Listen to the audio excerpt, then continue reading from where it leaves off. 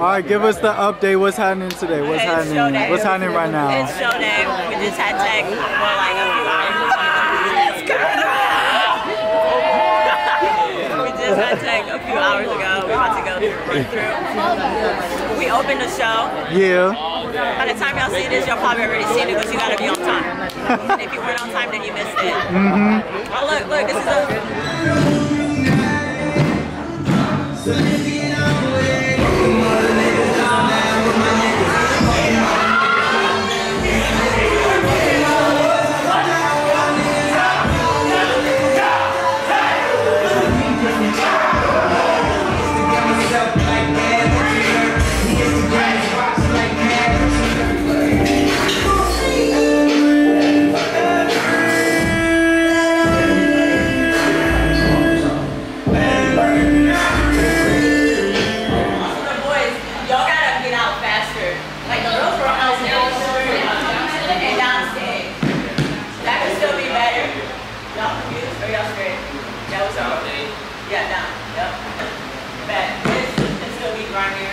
Um, it's literally just that. You know, y'all start getting grimy here, but this is your first step. It looks good.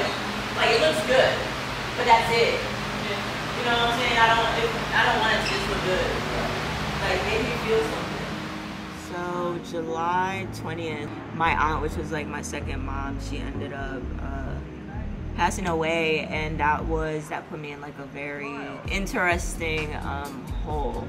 And the last time that I went through like a, tra- a traumatic like just death like that was my godbrother back in November 2021, and um, I don't know. I just became very like my relationship with dance became very like love hate it was just a sticky situation. So um, I was listening to a specific song after I got that news. It literally came on shuffle, United in Grief, and Blood on the Leaves.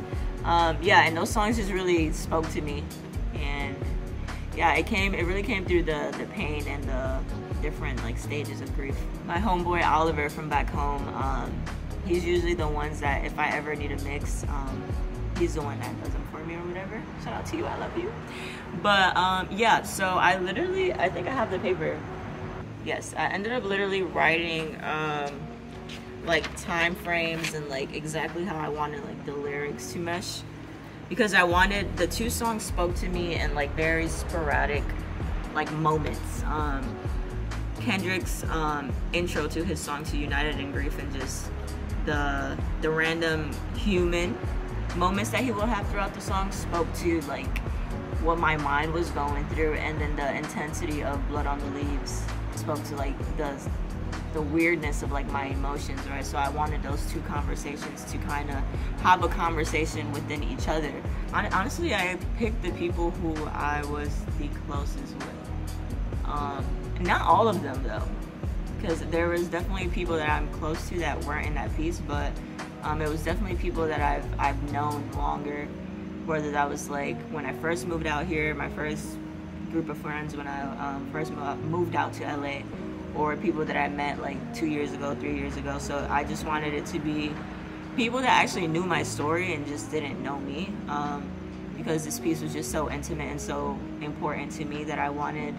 I needed people that understand me and um, either understood me knew my past, knew how much my aunt um, meant to me, and or just had their own story that I also wanted them to just showcase. My brother, my brother Daniel, Daniel the artiste.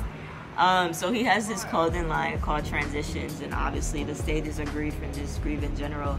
It's a very transitional phase in your life.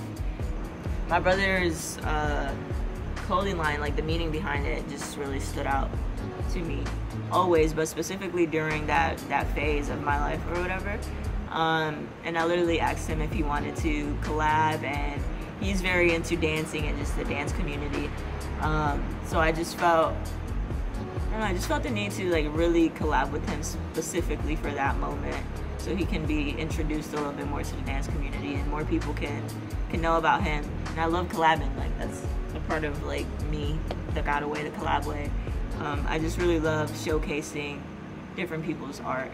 I feel like, well, I know the beginning really showcases the different layers um, whether you noticed it or not, but it, it really showcased the different layers of my brain and like the emotions I was going through throughout that phase um, of grief.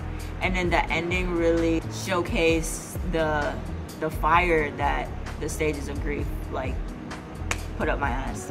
The middle was like the the chill moments in my eyes, but the beginning was definitely the different unpacking like the different layers and then the ending was like the, all right like this shit happened but it's it's still it's still life. You gotta go harder for them. You gotta go harder for your angels. You gotta go harder for yourself.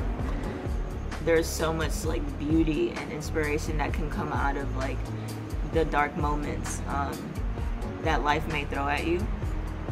I feel like this whole piece is gonna make people go through a roller coaster um, it really depends on how you take it my dancers my family, they're not even my dancers, my brothers and sisters, like just making that happen in four days.